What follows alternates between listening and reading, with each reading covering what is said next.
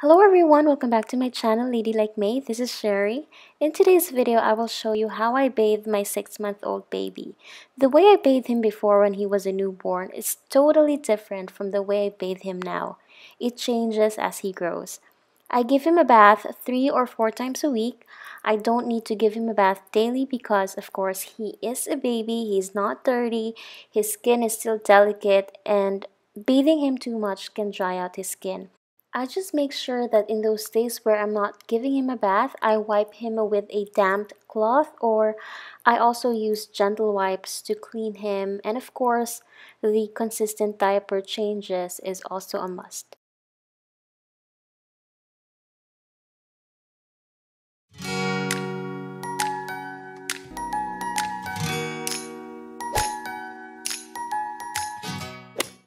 Before I get my baby for his bath, I prepare two stations for him.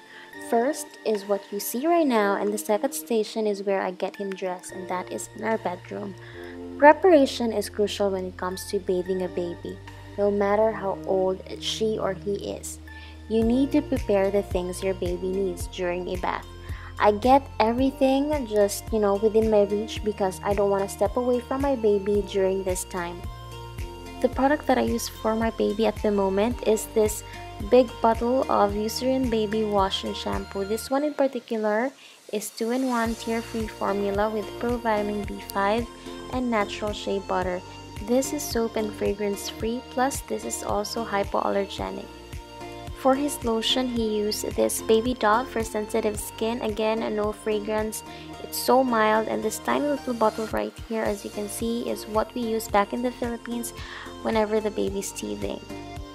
A little advice for first-time moms like me. Um, for your wash and shampoo products, go grab the ones that already has a pump.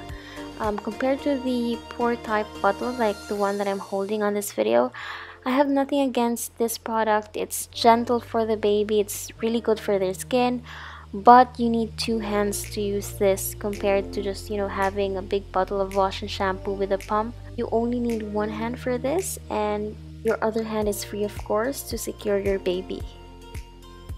On this area, I also have my Blooming Bath Lotus. Oh my god, I love, love, love this product so much. It makes the bathing process super easy for me and for my baby. My baby loves it. It is a non-sleep. It is so easy to use. I just place this on the sink. I let the water run.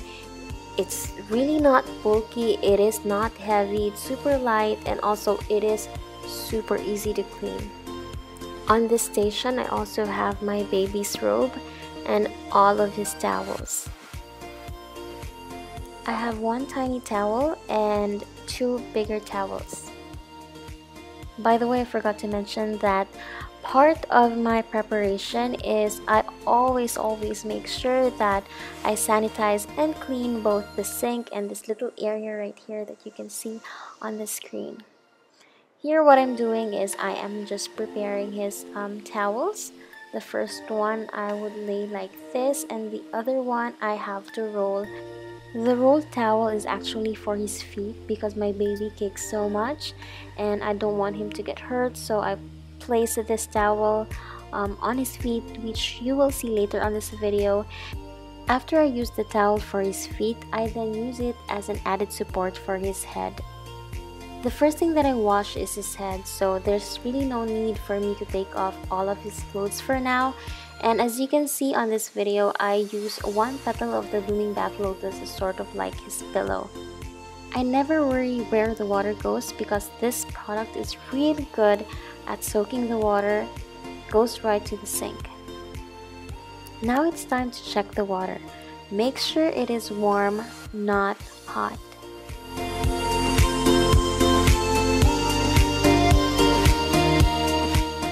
Bathing my baby is one of the many, many, many, many, many things that I love to do with him.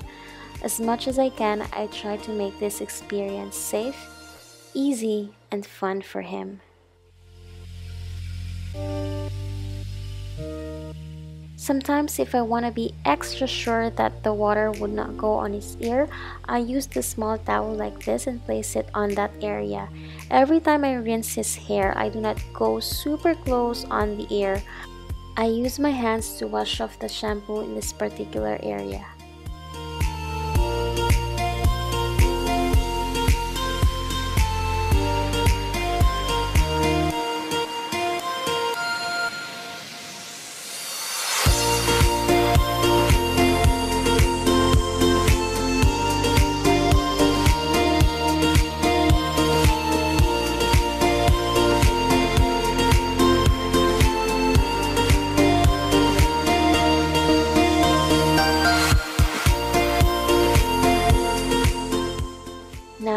Done, I grab the small towel again and dry his hair a little bit.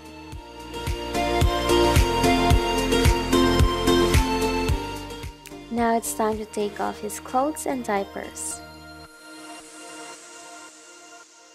This is what I was talking about earlier. First, I place this roll towel under my baby's feet just to prevent him from hitting the surface without any buffer since he kicks so much.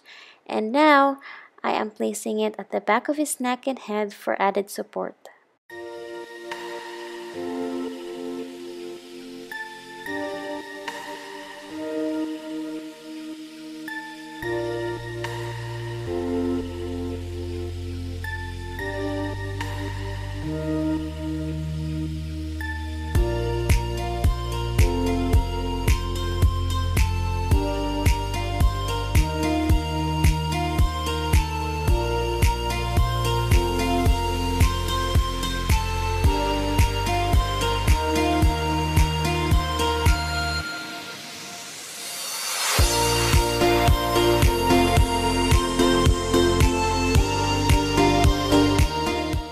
This is where I dry him, put the Dove lotion and his diapers, and of course get him on his robe.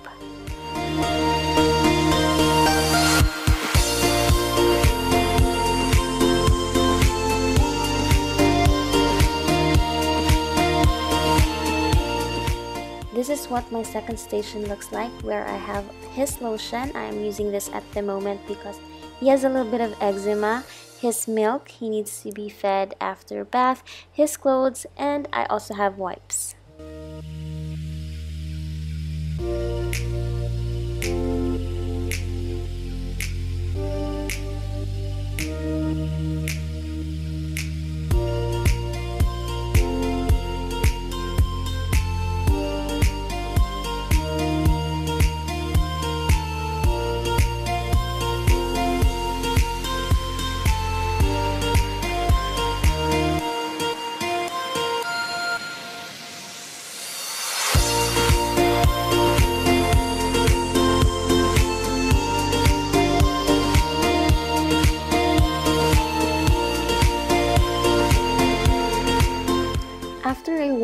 Soothing bath, my baby usually gets hungry. That's why I need to prepare his milk.